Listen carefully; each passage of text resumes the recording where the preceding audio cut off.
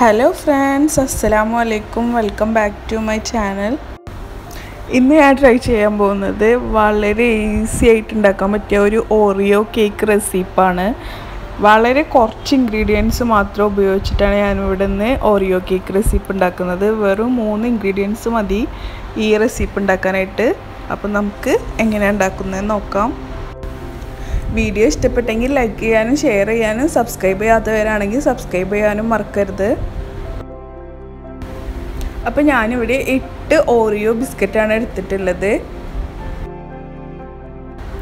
ഇനി നമുക്ക് നമ്മളുടെ ഓറിയോ ബിസ്ക്കറ്റിന്റെ ക്രീം മാറ്റി വെക്കാം മാറ്റിയിട്ട് വേറൊരു പാത്രത്തിലേക്ക് മാറ്റാം.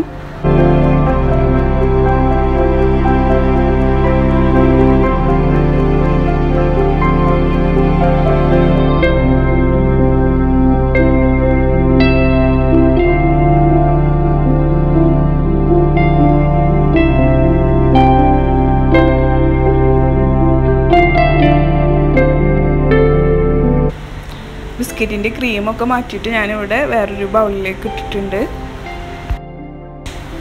ഇനി നമുക്ക് ഈ ബിസ്ക്കറ്റിനെ എല്ലാം ഒന്ന് പൊടിച്ചെടുക്കാം. അപ്പോൾ നല്ല രീതിയിൽ പൊടിച്ചിട്ടുണ്ട്. ഇനി ഇതിലേക്ക് ഒരു സ്പൂണോളം ബേക്കിംഗ് പൗഡർ ചേർത്ത് നന്നായി മിക്സ് ചെയ്തെടുക്കാം. ഇനി ഇതിലേക്ക് കാൽ കപ്പോളം പാലും കൂടെ ചേർത്ത് കൊടുക്കാം. എന്നിട്ട് വീണ്ടും നമുക്ക് നന്നായി മിക്സ് ചെയ്തെടുക്കാം.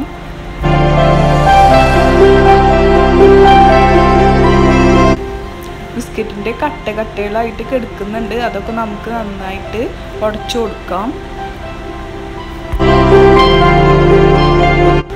ഞാൻ ബിസ്ക്കറ്റിന്റെ കട്ടകളൊക്കെ ഉടച്ച് നമ്മുടെ ബാറ്ററി ഇവിടെ റെഡി ആയിട്ടുണ്ട്. ഏകദേശം ഈ കൺസിസ്റ്റൻസിയിൽ വരണം. നമുക്കൊരു പാൻ വെച്ച് അതിലേക്ക് കുറച്ച് ഓയിൽ ഒഴിച്ച് എല്ലാ ഭാഗത്തേക്കും ആക്കി കൊടുക്കാം.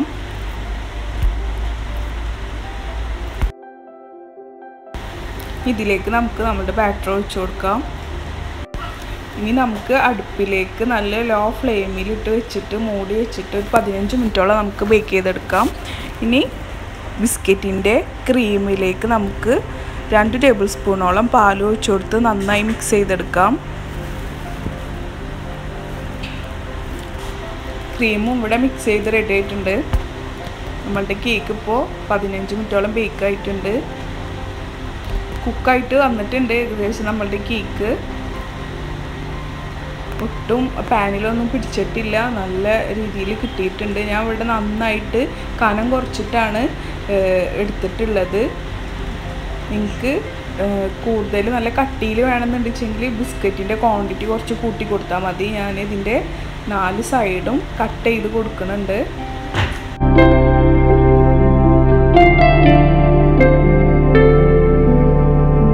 നമ്മൾ കേക്ക് അവിടെ കട്ട് ചെയ്തെടുത്തിട്ടുണ്ട് ഇനി നമുക്ക് ഇതിലേക്ക് നമ്മളുടെ ക്രീമിന്റെ മിക്സ് തേച്ച് കൊടുക്കാം.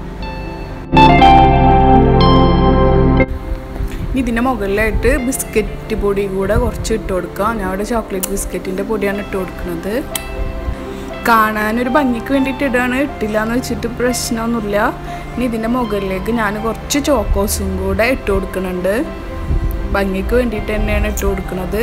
നിങ്ങൾക്ക് ആവശ്യമുണ്ടെങ്കിൽ മാത്രം ഇട്ട് കൊടുത്താൽ മതി. ഇല്ലെങ്കിൽ വേറെ എന്തെങ്കിലുമൊക്കെ വെച്ചിട്ട് നമുക്ക് ഇങ്ങനെ ഇതിന്റെ മുകളിലായിട്ട് ഭംഗിക്ക് വേണ്ടിയിട്ട് ഇട്ട് കൊടുക്കാം. നമുക്കിനി ഇത് നാല് പീസായിട്ട് കട്ട് ചെയ്തെടുക്കാം. അപ്പോൾ നമ്മളുടെ കേക്ക് ഇവിടെ റെഡി ആയിട്ടുണ്ട്. നല്ല ടേസ്റ്റ് ഉണ്ട് ഈ കേക്ക് കഴിക്കാനായിട്ട്. പ്രത്യേകിച്ച് കൂടുതലൊന്നും ഞാൻ ഇതിൽ ആഡ് ചെയ്തിട്ടില്ല.